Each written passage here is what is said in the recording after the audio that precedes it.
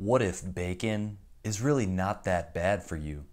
That seems to be the message in a recent video from What I've Learned, aka Joseph Everett. Now, as many of y'all have seen, Mike the Vegan, or Mick the Vegan, sorry, Mick, has responded to What I've Learned's bacon video.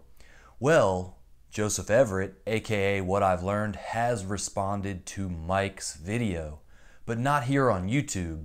He did it on a different platform. So what I'm going to do is put his response into words so you can see it here on YouTube. Mike the Vegan made a video titled, What I've Learned is Wrong About Bacon and Cancer, refuting the points made in my video titled, How Much Bacon Gives You Liver Failure, What About Colon Cancer? We will look at each of his points in detail, but here are flaws with Mike's video at a glance.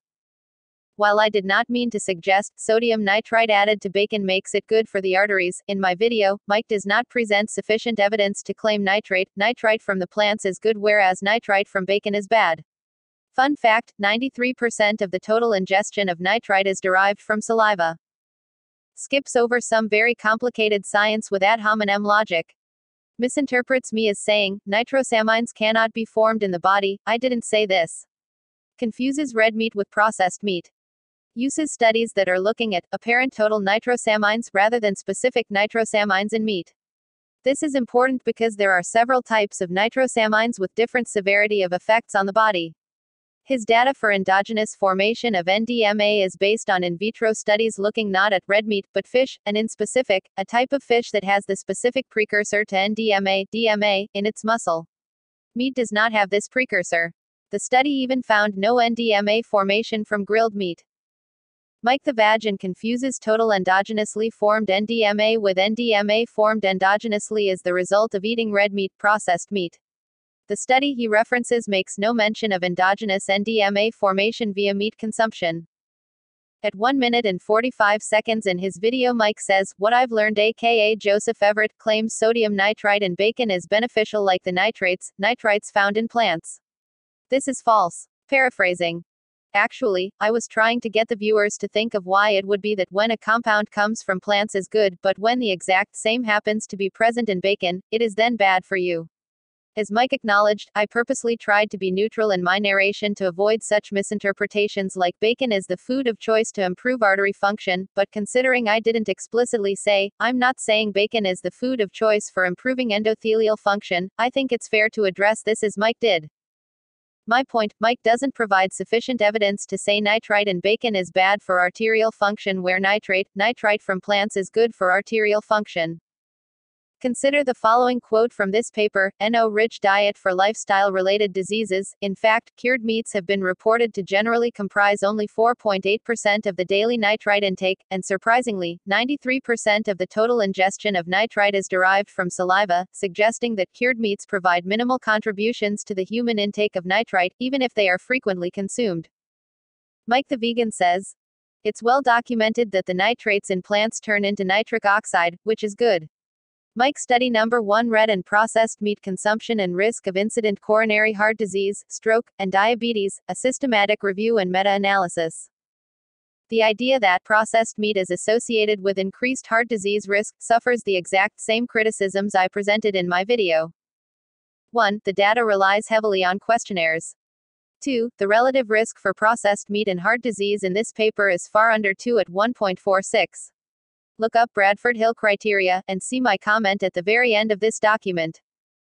Mike says, however, plants that are high in these nitrates are associated with lower risk. While referencing this study, Mike study 2 association of dietary nitrate with atherosclerotic vascular disease mortality. This is another association study, meaning another observational study, meaning they used a, a validated food frequency questionnaire to evaluate dietary intake so the study finds that nitrates from plants are associated with less chance of death. The study authors didn't extract the nitrate from the plants, randomize people into two groups where one group ate specially modified plants that were denitrated, and the other group got normal nitrate containing vegetables, so this study is subject to the same criticisms I presented in my video. People who are likely to eat more vegetables are likely to follow other pieces of health advice don't smoke, exercise, drink enough water, etc. But the people who say, screw it, I want my bacon and hot dogs, Coca Cola never killed anyone, are the type of people who drink more Coca Cola and don't exercise. Look at the comment at the end of this document. At 3 minutes and 7 seconds in his video, Mike is quoted as saying, So no, it doesn't appear bacon is good for your arteries. Again, while I did not say, bacon is good for the arteries, in my video, Mike's evidence for bacon not being good for the arteries, these two studies above, is not sufficient at this point. Quoting Mike's narrative from 3 minutes 11 seconds in the video, well, there is a major difference between the nitrates in plants and the nitrates and nitrites in processed meats in terms of what happens within the body. There is a fork in the road, if you will, a fork where these nitrogen compounds can either go the way of the dark side or the light side. Dot dot dot. Let's compare these nitrogen compounds from meat or plants as they enter the body with plants. It's quite simple. That nitrate gets turned into nitrite by your saliva, and then a portion of that in your body can be turned into nitric oxide, which again is very beneficial for your arteries. So again, that nitrate to nitrite to nitric oxide and then in terms of the nitrates and the nitrites that are added to processed meat, I know this gets confusing, the nitrates will also be turned into nitrite, so to keep it simple everything past the mouth is gonna be a nitrite which will then be turned into one thing or another thing. It doesn't appear that those plant nitrates are gonna be turned into nitric oxide at all. I haven't found any evidence for that. In response to, it doesn't appear that those plant nitrates are gonna be turned into nitric oxide at all. Mike study number 3 Inhibitors of endogenous nitrosation. Mechanisms and implications in human cancer prevention. At 4 minutes and 37 seconds, Mike points out that certain compounds in plants inhibit nitrosation, and that these compounds are why plant nitrates don't cause nitrosation.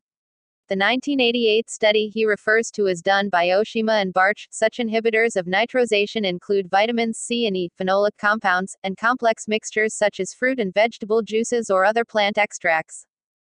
The same two people did a study seven years earlier in 1981 which found that nitrate, with proline, caused the urinary excretion of the nitrosamine and nitrosoproline. The nitrate containing liquid they gave the volunteer was beet juice. Beets are a source of vitamin C but not enough perhaps. Cabbage has plenty of proline, almost as much as beef, and plenty of nitrate. The combo the 1981 paper used to form N-nitrosoproline. Cabbage has around 718 milligrams per kilogram of nitrate. 5% of nitrate is converted into nitrite in the body, so we'll say there's 36 milligrams per kilogram of nitrite in cabbage. Bacon has an upper sodium nitrite concentration of 27 milligrams per kilogram, less than cabbage. Of course, cabbage has vitamin C a lot more than beets, in fact. Is that enough vitamin C to cut the nitrosamine formation down to zero? Well, according to this paper, no. Even when you hit an amount of vitamin C 10 times the amount expected to halt all nitrosamine formation, there is still some nitrosamine being formed. This leaves us with a couple interesting options. 1. Bacon and cabbage are both carcinogenic, but cabbage is less so thanks to vitamin C and perhaps other compounds. 2. Bacon eaten with enough of the right greens, or green tea, can be rendered not carcinogenic or only as carcinogenic as cabbage. Wouldn't it be nice if the IARC said something like, though, one half cup of green tea and two tablespoons of lemon juice mitigate 90% of the negative effects of 50 grams of bacon? 3. Neither are carcinogenic, or, if bacon is carcinogenic, it's not through the action of nitrites. Let me point out, however, that we are left at this point with the same questions that I sought to address in my video of how is nitrite from vegetables, drinking water, saliva different from nitrite in processed meat? B. We understand nitrite itself is not the cancer causing agent, but the downstream compound of a reaction with nitrite nitrosamine. How much of which nitrosamine will give you cancer at what rate? C. What is a realistic amount of this cancerous agent you can acquire from food? While I do not explicitly say it in the video, this is the point of the video to encourage this type of critical thinking. Despite saying things like, I'm not saying we should all eat more bacon, or, I rarely eat processed meat myself, my aim with the video seems to have been misconstrued as, let's all eat more bacon. Let's maintain this level of vigilance in our thinking as we move on. Mike study number 4 Red meat derived nitroso compounds, lipid peroxidation products, and colorectal cancer. Going back to my point 1 under, a couple interesting options. Mike says at 4 minutes and 48 seconds that this study, red meat derived nitroso compounds, lipid peroxidation products, and colorectal cancer says that heme iron helps this process of forming nitroso compounds take place. The study shows that as you eat more red meat, there is more formation of nitroso compounds, and it seems to be the heme iron that is causing this. As a counter-argument to my video, this is not as relevant as it seems. I didn't talk about heme iron in my video. The paper only mentions nitrite, nitrate once. It says, in germ-free rats, the endogenous formation of nitroso compounds only occurs in the presence of intestinal microflora, and certain strains of bacteria could make use of a nitrate or nitrite reductase at a neutral pH to form nitroso compounds. However, this activity strongly varies among humans. A reference is provided. This reference refers to dietary modification of intestinal bacterial enzyme activities, potential formation of toxic agents in the gut. Then, the study finding increased nitroso compounds from eating more red meat rather than sodium nitrite containing processed meat was measuring ATNC, apparent total nitroso compounds. This is not a perfect analogy, but for the sake of painting a mental picture, think about it like this. A celebrity is found dead in their apartment from an apparent overdose. The coroner reports that the deceased took a total of 10 milligrams of drugs. So, we can assume at least 10 milligrams of drugs is lethal for some percentage of people. Obviously, we want to know which drug it was.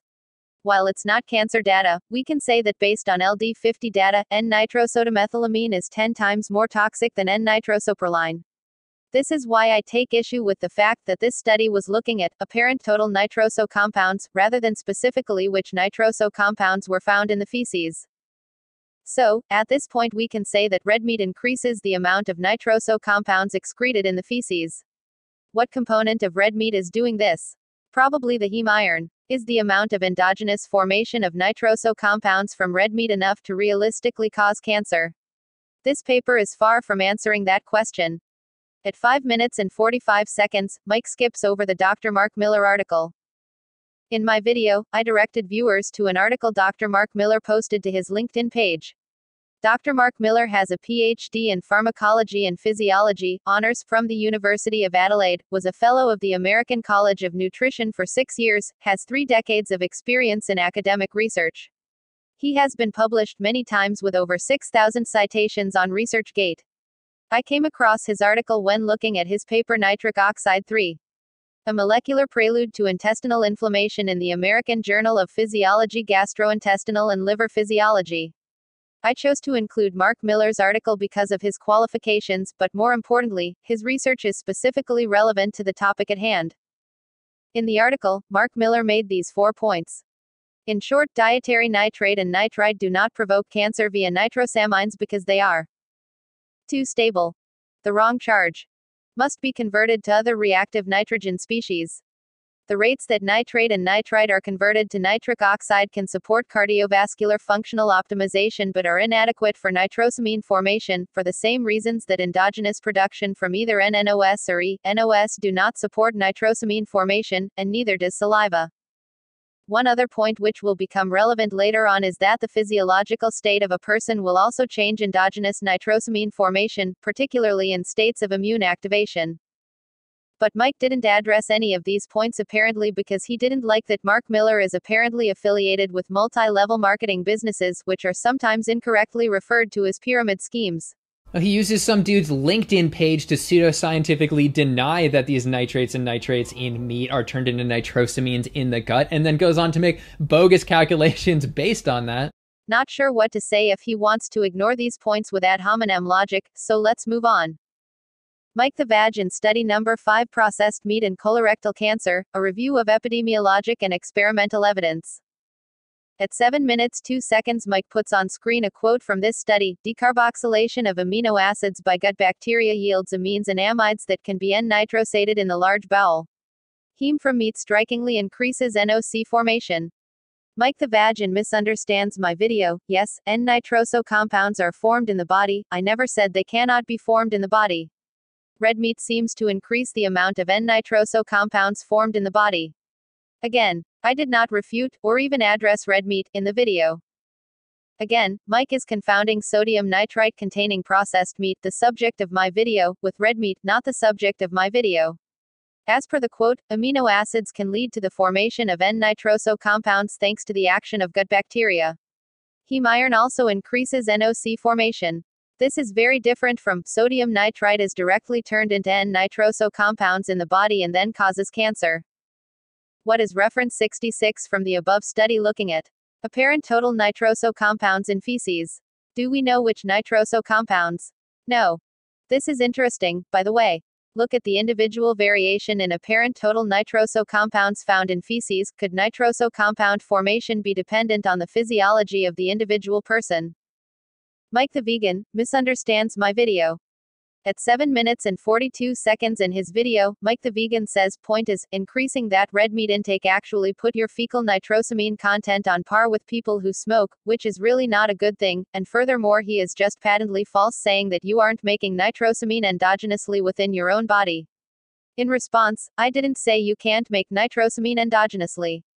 Mike also says, he then continues the entire video with the assumption that endogenous nitrosamines aren't a threat or aren't part of the equation. I didn't say this outright either, but my video could be interpreted as saying, exogenous intake of nitroso compounds from processed meat is more important than the endogenous formation of nitroso compounds as a result of eating processed meat, so let's move on assuming I did say that. Mike criticizes the rat study I used to make my point that you would need an unrealistically large amount of processed meat to give you a dose analogous to that which induced cancerous tumors in rats. Mike's criticism stands rat studies have their limitations, but you're not going to find a study where they give humans a known carcinogen just to know what the minimum amount to cause cancer is. He points out that I only looked at 1 nitrosamine, NDMA, which is true. As made clear in my video, the reason I did this is because NDMA seems to be the most toxic based on LD50 data, and the other reason is that this is the compound used in the study I referenced. At 9 minutes and 10 seconds, Mike brings up studies looking at total nitrosamine content of processed meats. Mike goes on to say, but there are several nitrosamines that cause cancer. We have NDEA, which is in notable amounts in meat. You add all these together and yes, other nitrosamines are also carcinogenic. But the point of my video was to investigate the amounts of specific nitrosamines in processed meat, then compare that with data we have on the amount that would give you cancer. Mike study number 6 determination of total N-nitroso compounds and their precursors in frankfurters, fresh meat, dried salted fish, sauces, tobacco, and tobacco smoke particulates. Mike brings up the above study on screen and says, Here's Dr. Greger's summary of the findings. 4 hot dogs has more nitrosamines than a pack of 20 cigarettes. So here we have to go to the Greger video to see that Greger is pointing at these two data points. Wow. That is pretty compelling. Four hot dogs has more nitrosamines than a pack of cigarettes. Three things. 1. If that were a worthwhile comparison, why do we see a tremendously different risk from smoking cigarettes and eating processed meat? The IARC said eating 50 grams of processed meat a day incurs a 18% increased risk of colon cancer. This is a relative risk of 1.18, whereas depending on which study looking at which population of smokers, you'll find up to 3000% increased risk of lung cancer. The relative risk of small cell lung cancer in Korean smokers in this study was 21.7. 2. Do you eat your hot dogs or light them up and inhale the hot dog smoke into your lungs? 3. We again run into a familiar problem. In the study, they are looking at total N nitroso compounds. Which nitroso compounds? That's not listed in the table. Here are the four nitrosamines the IARC lists in their table of nitrosamines found in processed meat N-nitrosodimethylamine. N nitrosodiethylamine, N nitrosopiperidine, N nitrosopyrrolidine. Just looking at the toxicology, we can assume their effects on the body are drastically different. N-nitrosodimethylamine is 30 times more toxic in rats than N-nitrosopyrrolidine. At 9 minutes and 50 seconds, Mike the Vegan says, it is really the endogenously produced nitrosamines we should be worried about. Mike the Vag in reference study number 7 N-nitrosodimethylamine, NDMA, in food and beverages, a comparison in context to drinking water, Mike brings up this study and pulls this quote on screen. Another in vitro study showed that 0.37 micrograms of NDMA was formed endogenously for each gram of nitrate and or nitrite-rich food ingestion, Fristachi and Rice 2007. The 2007 Fristachi and Rice study actually comes up with that calculation based on data from this study. Here is the in vitro study. In vivo means, in an organism. In vitro literally means, in the glass, i.e., outside the biological context. Here's the gastric model used in that in vitro study to check NDMA formation. There are four issues with this study. 1. This is not looking at what happens in a person or even an animal. 2. While the study referencing this study comes up with a calculation of how much NDMA, 0.37 micrograms, is produced per gram of nitrate rich foods, this is not what the study is simulating. It is simulating the amount of nitrite you would get from swallowing your own saliva. As you'll remember, part of the nitrate to nitrite to nitric oxide cycle takes place in the saliva. 3. This is not looking at processed meat or even meat. In fact, quoting from the study, pike perch, as an example of a non-gadoid fish species, and grilled steak tartar, as an example of meat data not shown, did not result in NDMA formation above the background level. 4. Why did they specifically look at non-gadoid fish? Probably because gadoid fish form dimethylamine, DMA, in their dark muscle. Maybe that stuff is in meat then. Nope. Oh, maybe we need a new IARC report thanks to compounds naturally occurring in your saliva. Eating codfish increases your risk of colon cancer. Except, a six month intervention trial found no effect on colon cancer from codfish. Mike the Vegan is quoted as saying, back to endogenous NDMA creation, which is real. In response, again, I didn't say nitrosamines or NDMA couldn't be formed in the body. Here's another quote from Mike from the study. The data reported in Hrudey et al. 2013 were approximately 70 times the estimates in Fristachi and Rice 2007. That quote comes from this study. Drinking water is a proportion of total human exposure to volatile N nitrosamines. This study is interesting. Here are some highlights. 1. Does this study discuss the formation of NDMA from processed meat or even red meat? No. Abstract. 2. Our analysis, based upon human blood concentrations, indicates that endogenous NDMA production is larger than expected. Interesting. But what is the cause of this endogenous formation? We don't know. Section 2.3 Endogenous formation of volatile N-nitrosamines. 3. The precursor to forming NDMA, dimethylamine, the same stuff found in dark muscle of cod, was found already in saliva, blood, gastric juice, feces and urine.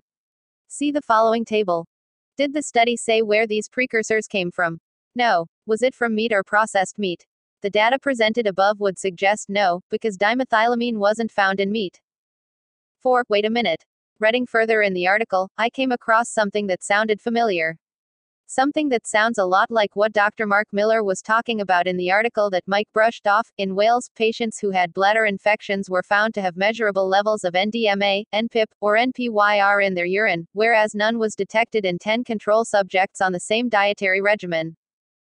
Quote from Mark Miller's article Those results in gastric cancer identify that the nitrogen oxides may well be linked to gastric cancer, but the source of the problem lay in the immune response, not the generation of nitrogen oxides in the lumen of the stomach through interactions with acid.